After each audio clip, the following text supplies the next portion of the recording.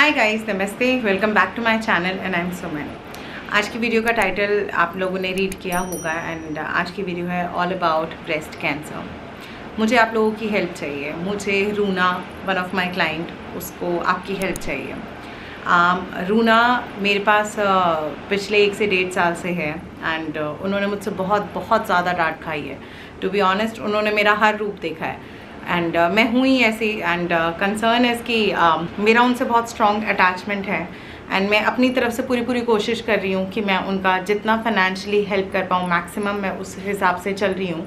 And मैं उनको help कर भी रही हूँ। एंड uh, आने वाले टाइम में और करूँगी। बट पॉइंट इज़ कि uh, रूना को ब्रेस्ट कैंसर है।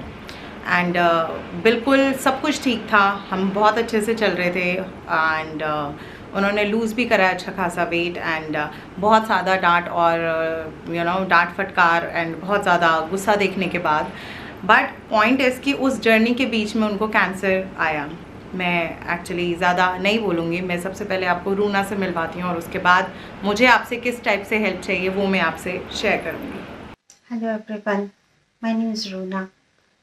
I stay in Bangalore. Have uh, joined Sumanti's weight loss program on 14th August of 21.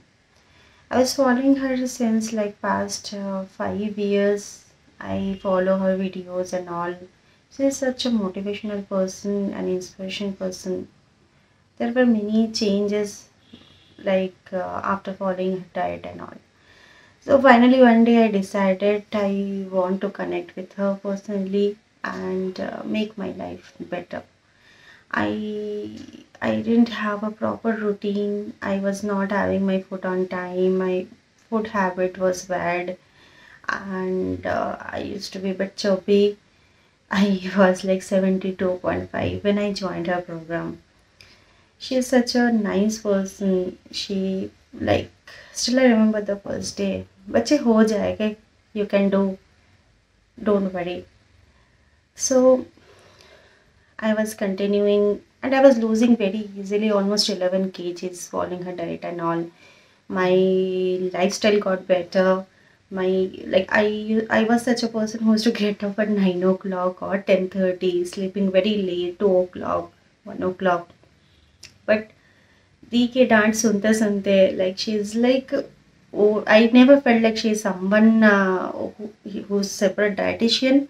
I felt her like my own elder sister who used to scold like बेटा time से diet भेजियो sorry time से weight भेजियो सात बजे से बाद भेजोगे I will throw you out of my batch I still remember those days my lifestyle actually got improved even my parents my husband everyone started telling you have a huge difference i get up every day 6.30 7 o'clock sending the weight like i learned how to love myself prepare food for myself take care of myself everything. There was a long pending i was like um, this was from very long time i wanted to be on the track. Life was becoming normal. I became 61.5 and suddenly there was a very uh, very big news which actually make my life upside down. I never used to look like this earlier. I had a best length here I used to look something different think eyebrows and all. But 28th of april like suddenly there was something different news and after the doctor diagnosis and all i diagnosed with breast cancer third stage advanced triple negative. And the life became like upside down immediately. I don't know how should i react there. There was no symptom at all no itching no irritation nothing. Suddenly these things. Next moment like being from a bomb family everyone prefers Vellore. my parents were worried everyone. I checked in bangalore they are suspecting there is cancer and all.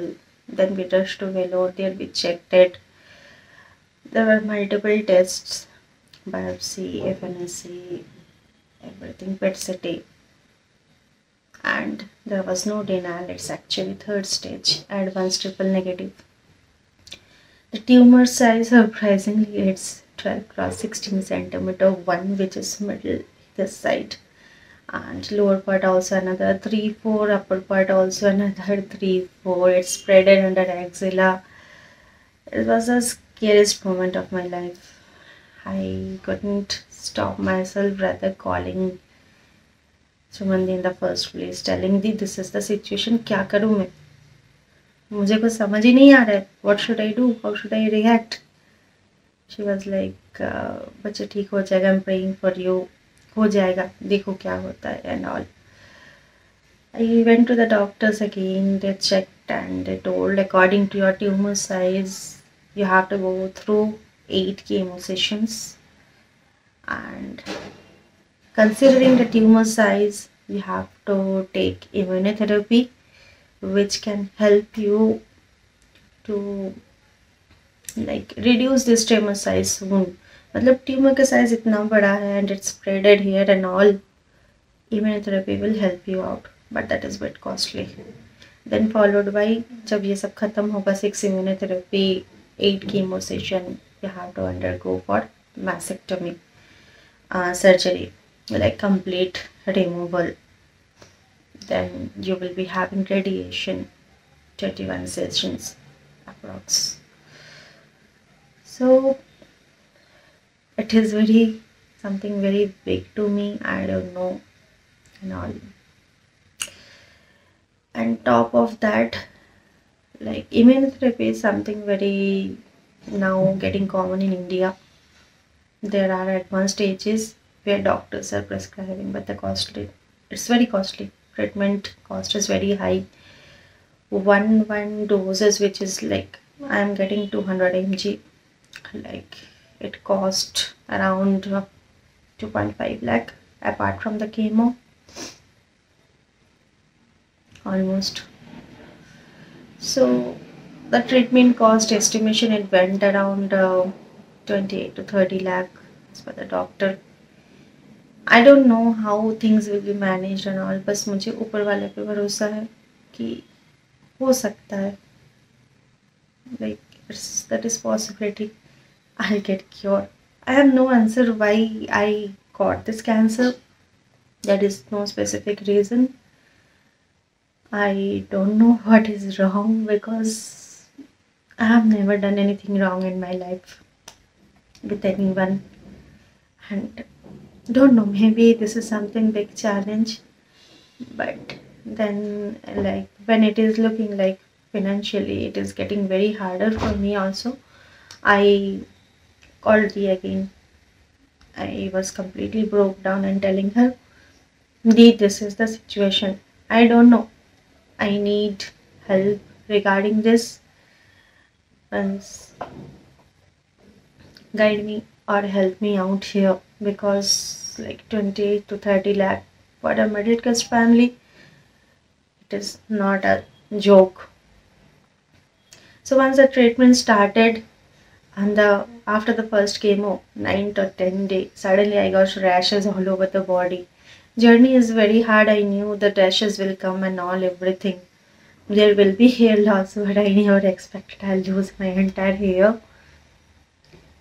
There like after the chemo there are black black patches on my hand. Rash is gone after treatment. Still i have the marks in my body moreover i'm going through another one more treatment for the reproductive because i'm like only 32 years old. So i didn't have my own children yet. So like once everything over there is a bit chance that i can conceive again. There is another one treatment for reproductive also going. I don't know. Everything how it will go or how things will be managed. I just left everything on god.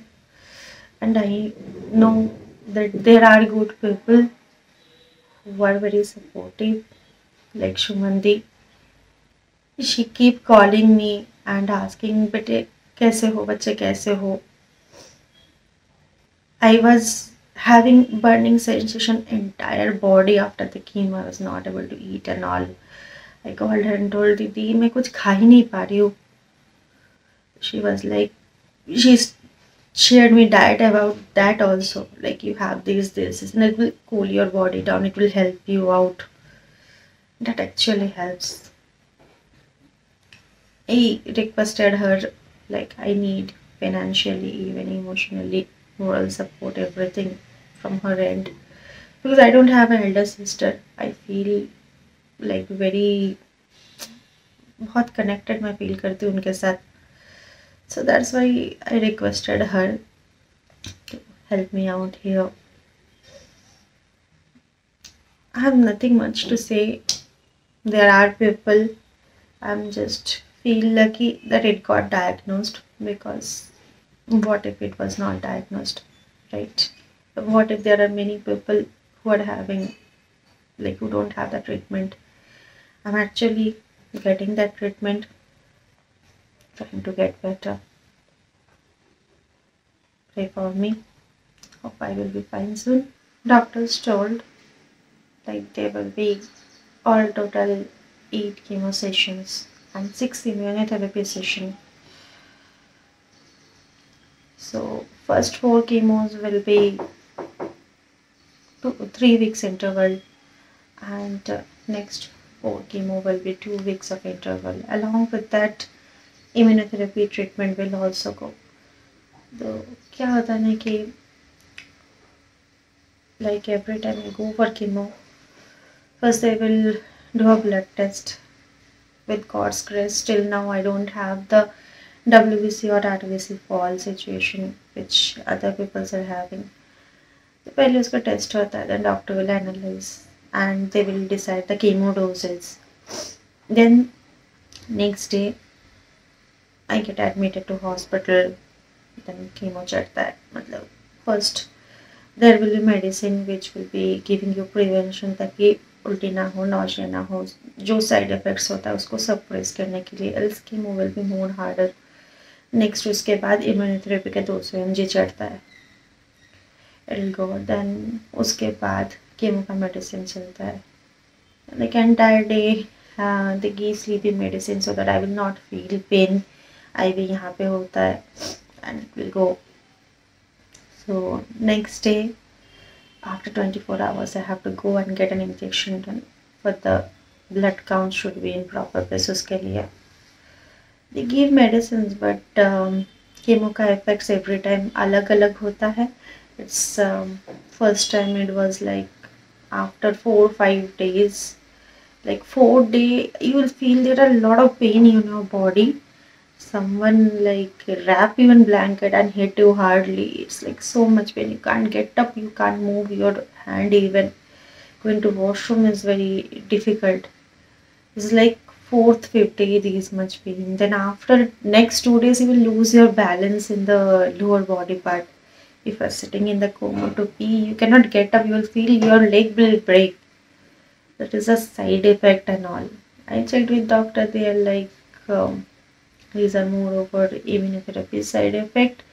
You need to keep trying. You need to be positive. You need to keep going on. Else if you stop the chemo that will not help out for your treatment. So as about that then dhire pain will reduce there will be major constipation there will be nausea. This time I was uh, vomiting also. Almost a week i was not able to get up from bed at all. I was feeling like life has ended up. Maybe i will be bedridden for entire life i don't know. But slowly slowly i started recovering. Still i don't have balance in my leg and sand also. I i, I cannot like life is not normal now. I cannot hold a bottle of water also properly. जब ऐसे होते हैं ना चीज़ें तब like you should be positive you should be motivated I keep calling di and telling कि दी ऐसा हो रहा है। मुझे कोई जान नहीं है बॉडी में ऐसा नहीं है। And she is such a motivational person every time पता नहीं कैसे, कहाँ से she get that courage every time holding every thing उनकी एक आवाज़ से लाइक लाइक होगा. यू हैव टू डू सारे चीज़ नॉर्मल होगी. क्यों नहीं होंगे? सब होगा. मैं प्रे करी हूँ तेरे लिए दिन रात. सब हो जाएगा. If there is something very big you have someone well wisher who always praying for you. Apart from your parents your husband your sister this is something like i'm very lucky to have her in my life i don't know कैसे हो गया या फिर how I got so much connected with her but पता नहीं हर like like, नज़रिया उनका जो है ना ज़िंदगी देखने का that is different that is so positive like इतने कुछ में भी सारी चीज़ें पॉजिटिव दिखता है। And somehow I feel कि शायद मेरे लाइफस्टाइल सुधरने से, मेरे पीसीओडी क्योर हो जाने से मतलब I didn't have proper period I was not getting my period was stop after following her diet everything came in normal वो सारी चीज़ें ठीक होने से विटामिन डी के डिफिशियंसी ठीक होने से, मेरी इम्यूनिटी बूस्ट होने से समहाउ ये टफ सिचुएशन पे भी ना, कहीं ना कहीं I am in a better place कि शायद मैं थोड़ा जल्दी रिकवर कर रही हूँ। मेरी इतनी एंड कफ की इश्यूज़ थे ब्रीदिंग इश्यूज़ थे, सारी चीज़ें धीरे धीरे धीरे ठीक हो गई थी।